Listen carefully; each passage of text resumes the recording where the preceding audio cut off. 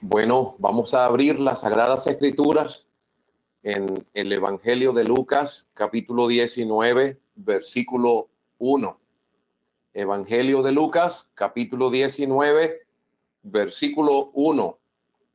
Dice así, habiendo entrado Jesús en Jericó, iba pasando por la ciudad y sucedió que un varón llamado Saqueo, que era jefe de los publicanos y rico, procuraba ver quién era Jesús, pero no podía a causa de la multitud, pues era pequeño de estatura. Y corriendo delante subió a un árbol sicómoro para verle, porque había de pasar por allí. Cuando Jesús llegó a aquel lugar, mirando hacia arriba, le vio y le dijo, Saqueo, date prisa, desciende, porque hoy es necesario que pose yo en tu casa. Entonces él descendió a prisa y le recibió gozoso. Al ver esto, todos murmuraban diciendo que había entrado a posar con un hombre pecador. Entonces Saqueo, puesto en pie, dijo al Señor, He aquí, Señor, la mitad de mis bienes doy a los pobres, y si en algo he defraudado a alguno, se lo devuelvo cuadruplicado. Jesús le dijo, hoy ha venido la salvación a esta casa, por cuanto él también es hijo de Abraham, porque el Hijo del Hombre vino a buscar y a salvar lo que se había perdido. Hasta allí decimos bien que el Señor bendiga la lectura de su palabra. Amén.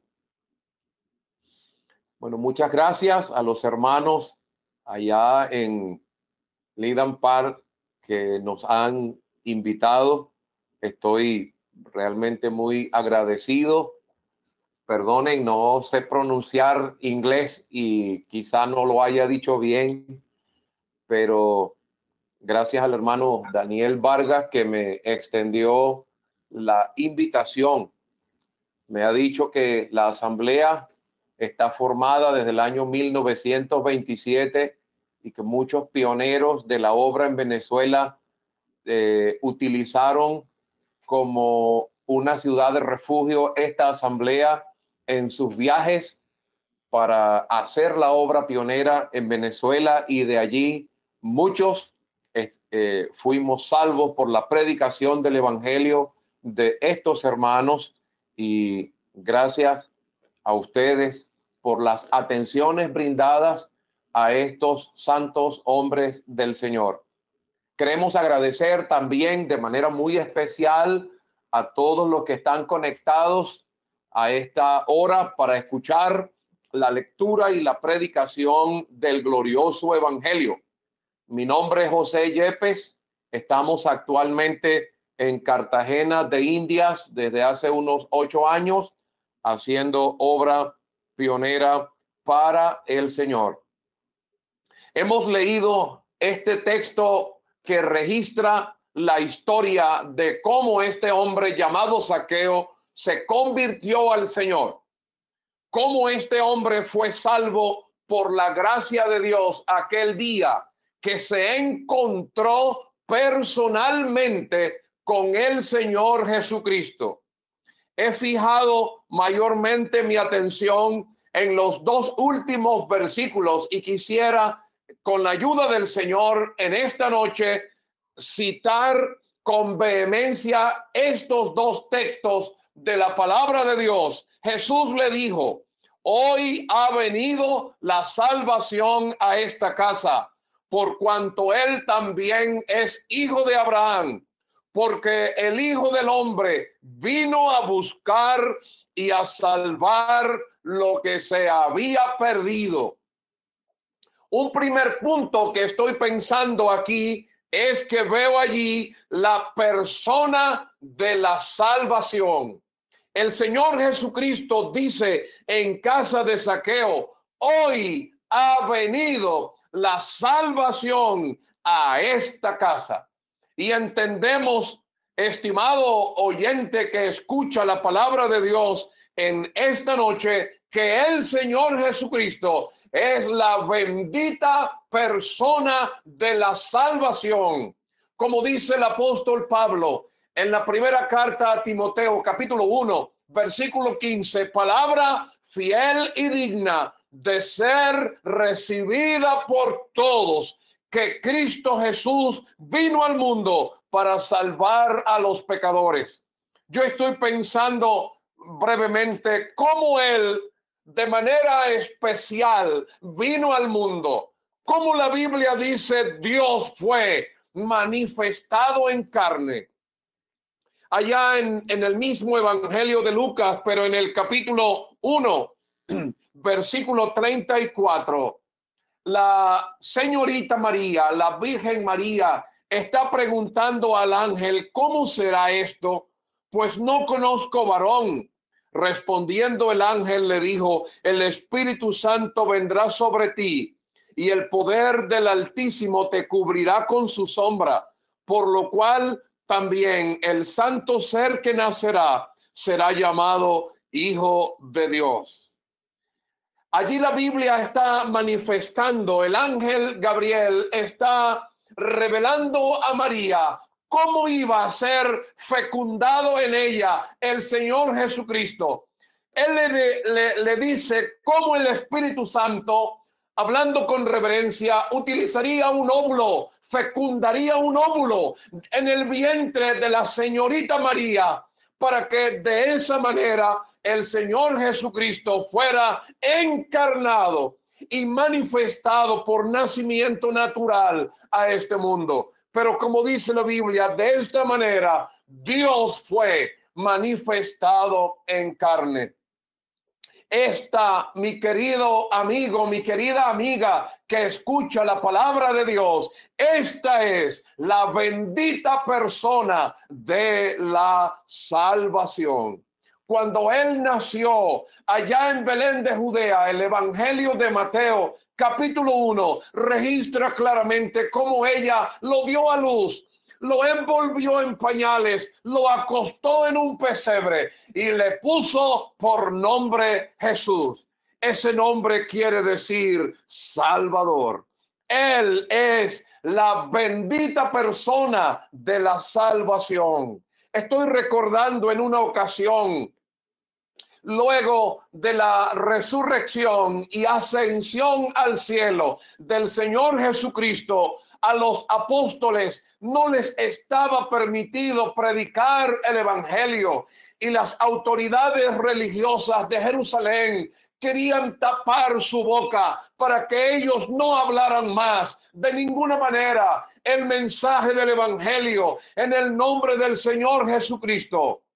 Y el apóstol Pedro dice, juzgad si es justo obedecer a los hombres antes que a Dios, porque no podemos dejar de decir lo que hemos visto y oído. Y especialmente él dice allí, y en ningún otro hay salvación, porque no hay otro nombre bajo el cielo dado a los hombres en que podamos ser salvos. No hay salvación ni en otro hombre, ni en otra mujer, por muy famoso espléndido en la palabra de Dios o fuera de ella, no hay salvación en nadie más que en la bendita persona de nuestro Señor Jesucristo.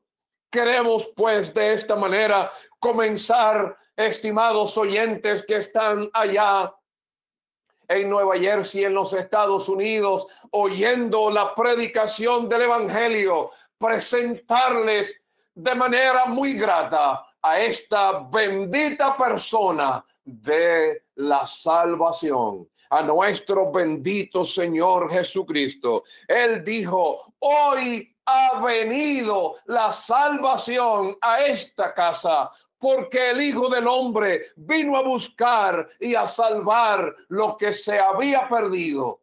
La salvación no se encuentra en obras, la salvación no se encuentra en un sistema, en una manera de vivir. La salvación se encuentra en una persona, en el Señor Jesucristo. Él es la persona de la salvación. Quería mirar otro punto con brevedad no menos importante en estos dos textos, el Señor dice, hoy ha venido la salvación a esta casa. Si la primera cosa que vimos fue la persona de la salvación, estoy pensando ahora en la prontitud de la salvación. El Señor dice hoy, hoy ha venido la salvación a esta casa. Quiero citar un texto en la segunda carta del apóstol Pablo a los Corintios, capítulo 6, versículo 2. La Biblia dice allí, en tiempo aceptable te he oído y en día de salvación te he socorrido. He aquí ahora el tiempo aceptable. He aquí ahora el día de salvación. La prontitud de la salvación. Cuando una persona va a ser salvada, el Señor dice hoy, hoy ha venido la salvación a esta casa. Mañana, mañana no existe. Mañana es una probabilidad nada más, pero estamos seguros a la luz de la Biblia, a la luz de este texto, para decirte, mi apreciado oyente, que hoy puedes ser salvo, que hoy puedes ser salva por la gracia de Dios, la prontitud de la salvación. Uno ve a Saqueo y su interés de ver, de conocer al Señor, intentó entrar entre la multitud pero era grande la multitud y él era pequeño de estatura. Era contraproducente para él verlo, conocerlo así. Entonces salió corriendo y subió a un árbol sicómoro para verle cuando el Señor pasara por allí. Pero aquel hombre que su corazón todavía palpitaría rápido por la carrera que había dado y por el esfuerzo de subir a aquel árbol, todavía el Señor le añade algo más de prisa. Él le dice, saqueo, desciende, date prisa, porque hoy es necesario que pose yo en tu casa. Entonces dice la Biblia que Saqueo descendió a prisa y le recibió gozoso. En cuanto requirió diligencia el asunto, Saqueo no se mostró perezoso, sino se mostró diligente apresuradamente para recibir al Señor Jesucristo aquel día. He hablado tristemente con personas que dicen, sí, el Evangelio es la verdad. Y ellos dicen, yo espero algún día también ser salvo, ¿cómo no? Pero están esperando de manera pasiva ser salvados. Mi querido oyente, a una persona que espera de manera pasiva la salvación, creo a la luz del texto que nunca va esa persona a ser salvado. Para ser salvo, mi querido amigo, tienes que angustiarte cómo se angustió Saqueo aquel día. Era un hombre rico, importante, pero todo eso palideció en aquel momento cuando él tenía como prioridad, como objetivo principal en su vida, conocer personalmente al Señor Jesucristo. Queremos animarte, amiga, amigo, corre. Queremos animarte a que tu corazón se enternezca a la luz de la palabra de Dios, a la luz del mensaje glorioso del Evangelio y entiendas que puedes ser salva, que puedes ser salvo en esta misma noche, en esta ocasión. Recuerdo siempre a un tío, como él nos cuenta la manera como fue salvado él era muy religioso, muy católico.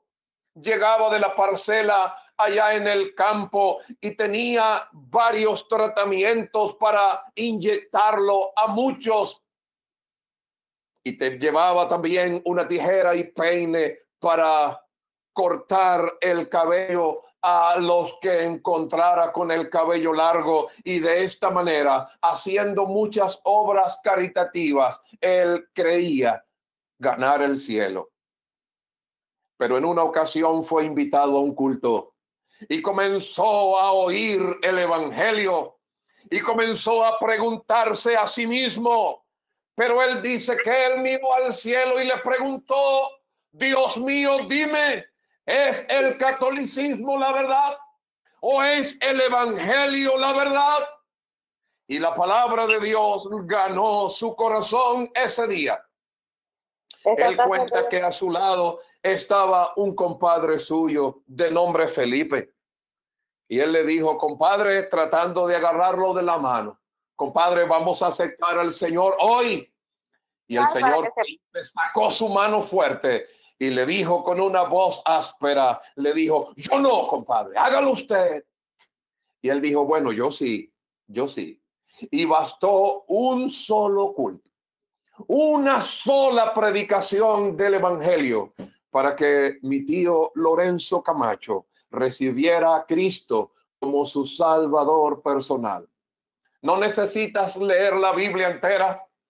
No necesitas escuchar muchos años el Evangelio. Quizás esta noche está oyendo alguien por primera vez la predicación del glorioso Evangelio.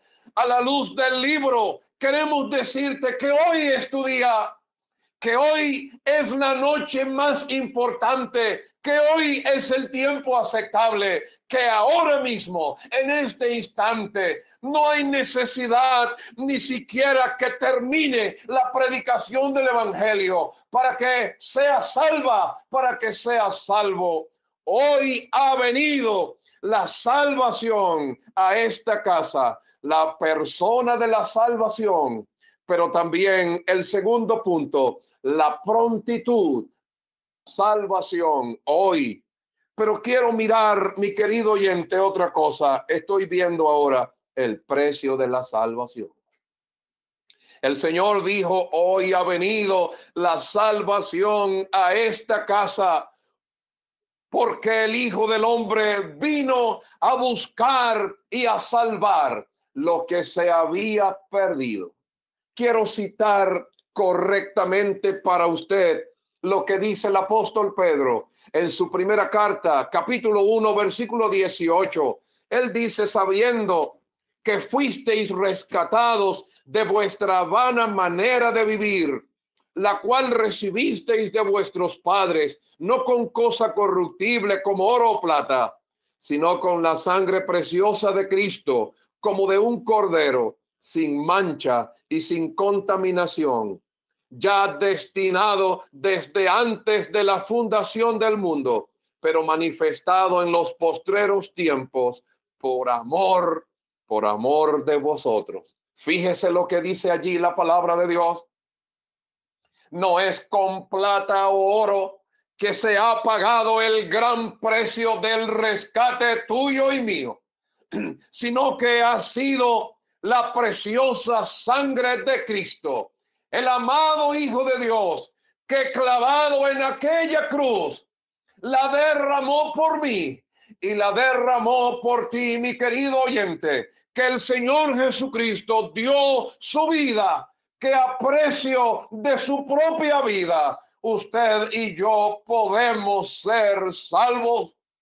Esa sangre preciosa de Cristo como la de un cordero, dice Pedro, sin mancha y sin contaminación, nos da la plena evidencia del gran costo, del gran precio, inalcanzable para ti, inalcanzable para mí. Pero qué bueno, podemos cantar como dice el poeta, aleluya, gloria a Cristo, que Él en su gran amor con que nos amó, entregó su vida en la cruz. Yo estaba pensando en ese versículo que dice la Biblia, que al que no conoció pecado, por nosotros lo hizo pecado, para que nosotros fuésemos hechos justicia de Dios en él. El Señor Jesucristo como Dios conoce el pecado. Como Dios, Él puede denunciar, Él puede hacer juicio contra el pecado, pero Él nunca conoció en la práctica el pecado. La Biblia dice, al que no conoció pecado, por nosotros lo hizo pecado. Es terrible ir allá, aquel lugar del Calvario, y ver al amado Hijo de Dios sufrir en la cruz el golpe de los hombres pero verle a él sufrir el ataque de Satanás. Era la hora de la potestad de las tinieblas en que él fue mordido por la serpiente antigua, como dice la Biblia. Pero fue aquel triste momento en la cruz cuando él dijo, Dios mío, Dios mío, ¿por qué me has desamparado? Dios al que no conoció pecado, a su Hijo, lo hizo pecado para que usted y yo fuésemos hecho justicia de Dios en él. Cuando la Biblia dice lo hizo pecado, lo que quiere decir es que lo hizo ofrenda por el pecado. El Señor Jesucristo en ese momento pagaba el gran precio, lo que sucedió en la cruz queremos decírtelo desde nuestro, desde nuestro corazón. No fue un mero montaje, hablando con reverencia. La realidad del peso, la realidad del castigo de nuestra paz fue sobre él. Dios cargó en él el pecado de todos nosotros para que la humanidad, hombres, y mujeres pecadores como usted y como yo podamos ser salvos. Hubo una obra, una obra muy grande, una obra con una eficacia sin igual. Hubo un valor, un precio muy grande que Cristo pagó para tu salvación y la mía. Para que yo, un indigno pecador, pudiera ser salvo. El Señor Jesucristo murió por mí, murió por ti, mi querido amigo. Si tú entendieras desde tu corazón, Él murió por mí. Él dio su vida, Él derramó su sangre por mí y lo dijeras desde tu corazón, en esta misma noche sería salvo. Entonces la persona de la salvación la prontitud de la salvación, el precio de la salvación, pero yo estoy pensando en la perpetuidad de la salvación. ¿Hasta cuándo? Un hombre y una mujer que salvo lo será. La Biblia dice en Juan 3 y 16, porque de tal manera amó Dios al mundo que ha dado a su Hijo unigénito para que todo aquel que en él cree no se pierda, mas tenga vida eterna. La perpetuidad de la salvación. La Biblia dice, ninguna condenación hay para los que están en Cristo Jesús. Pero leo un texto en Daniel capítulo 12 para dejarlo como un recurso del cual usted puede echar mano por la fe hoy. Daniel capítulo 12, versículo 5. versículo 3, perdón. Dice, los entendidos resplandecerán como el resplandor del firmamento y los que enseñan la justicia a la multitud como las estrellas a perpetua eternidad. Qué bueno, mi querido oyente, que a la luz de la palabra de Dios podemos mirar muchos versículos que verifican lo que estoy diciendo, que la salvación que recibe un pecador no la recibe con fecha de vencimiento, que no tiene una fecha de caducidad y que en algún momento tiene que volver a buscar una prórroga, buscar una nueva vigencia. No, amigo, Cuando una persona es salvada, lo es a la luz de la Biblia para siempre. Lo es con perpetuidad, lo es por toda la eternidad. ¡Qué maravilla! ¡Qué gran maravilla, mi querido amigo! Que podemos ser salvos no de manera temporal, sino ser eternamente salvados. Ah, la Biblia dice, de cierto, de cierto digo, el Señor dijo, el que oye mi palabra y crea al que me envió, tiene vida eterna y no vendrá a condenación, mas ha pasado de muerte a vida, la perpetuidad de la salvación. Pero quiero dejar un último, un último texto un último punto en este texto, no solamente en la perpetuidad de la salvación. Yo estoy pensando en la pérdida, la pérdida de la salvación. Hoy ha venido la salvación a esta casa porque el Hijo del Hombre vino a buscar y a salvar lo que se había perdido. Amigo, queremos decirle con respeto, usted está perdido. No es que se va a perder, ya lo está. Solo que lo está de manera temporal. Pero puede pasar a estar perdido, no de manera temporal, sino eternamente perdido. Si nosotros no le decimos esto a la luz de la Biblia, estaríamos dejando, perdone mi lenguaje, dejando mucho este mensaje. Pero a la luz de la Biblia tenemos que decirle, así como hay un cielo con todas sus glorias que nos ofrece el Señor, en la casa de mi Padre muchas moradas hay. Voy pues a preparar lugar para vosotros, para que donde yo esté, ustedes también estén. Queremos decirle a la luz de la Biblia, hay un infierno también hay un lugar de condenación eterna. Y vuelvo a citar a Daniel, capítulo 12.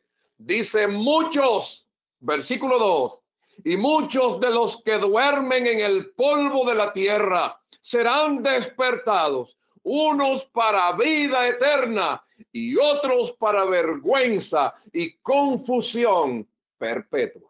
Así como es eterna así como es perpetua la eternidad de gloria para el salvado, así es de eterna y perpetua y terrible la condenación para el no salvado.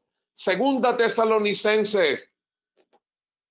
Quiero citar otro texto de la Biblia que no sean mis palabras, sino la aseveración de la palabra de Dios. Segunda Tesalonicenses 1, versículo 8, fíjese lo que dice.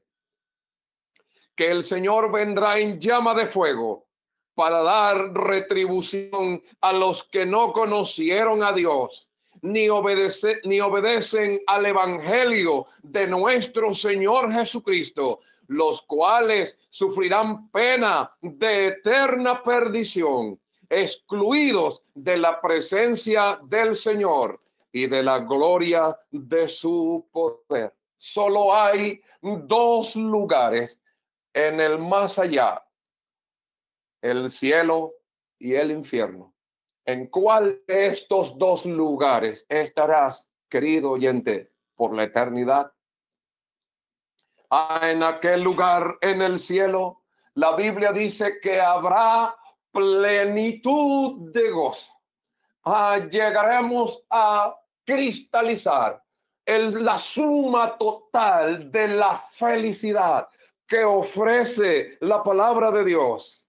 Pero la Biblia habla de los que estarán en el lugar de tormento, sufrirán pena de eterna perdición, excluidos de la presencia del Señor y de la gloria de su poder. Ojalá tu corazón se estremezca, se angustie por ser salvada, por ser salvado en esta noche y recibas a Cristo, el que murió en la cruz, el que pagó el gran precio de la salvación, que fue sepultado, pero resucitó triunfantemente un día como hoy, domingo en la mañana. Aquellas mujeres fueron al sepulcro para ungirle, pero encontraron a aquellos ángeles que le decían, ¿por qué buscáis entre los muertos al que vive? No está aquí, ha resucitado. Cristo resucitó, triunfó sobre el pecado, triunfó sobre la muerte, triunfó sobre Satanás y traspasó los cielos. Está sentado en majestad y gloria. Y esta bendita persona te la presentamos con sencillez y con nuestra debilidad. Quisiéramos con más vehemencia presentártelo, amigo. Con angustia entiendo que hay muchos del lado allá desde, su, desde sus pantallas, escuchando la predicación del Evangelio. ¿Cuántos serán salvos? Y me alegra mucho. Pero tengo que aceptar que muchos de ustedes no decidirán ser salvos, sino que decidirán irse a la condenación eterna. Lo dejo como una incógnita, no queriendo que sea así pero para que te des prisa y recibas a Cristo hoy. Ah, quiero terminar pensando otra vez. Hoy ha venido la salvación a esta casa, porque el Hijo del Hombre vino a buscar y a salvar lo que se había perdido. Aquel día saqueo, el que tenía fama de ladrón, el que tenía fama de pecador, el que tenía fama de malo, recibió a Cristo y podía decir, Señor, la mitad de mis bienes la doy a los pobres. Y si en algo he defraudado a alguno, se lo devuelvo cuadruplicado, demostrando el cambio que había sido operado en su ser aquel día. Pero hubieron otros que solo se conformaron con criticar al Señor. Mire, entró a posar en la casa de un hombre pecador. Esos dos grupos han existido y existirán, mi querido amigo, por la eternidad. Los salvados, los que se deciden de manera valiente recibir a Cristo, pero los que solo se conforman con saber, solo se conforman con mirar desde lejos sin ninguna decisión de ser salvo. Y hasta quizá añadir una crítica, como lo añadieron aquel día. Qué bueno, aquel día Saqueo fue salvo. Los salvados un día vamos a conocer a Saqueo podemos, pudiéramos hablar con él por mucho tiempo, conocer de manera pormenorizada cómo ese día Saqueo fue salvado. Cada uno de nosotros tiene su experiencia, tiene su día, su cómo, su lugar, donde aceptó a Cristo como su Salvador. No quiero terminar de decir mis últimas palabras, mi querido amigo, sin animarte otra vez a que seas salvo, a que seas salvo pero lo sea hoy. Que el Señor bendiga su palabra.